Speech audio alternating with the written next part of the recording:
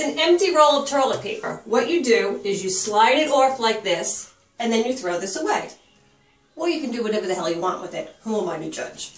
Okay, so now you have the new roll of toilet paper. You take that, and you don't even have to take a thingy off. You just slide it on, and you're done. It's that easy.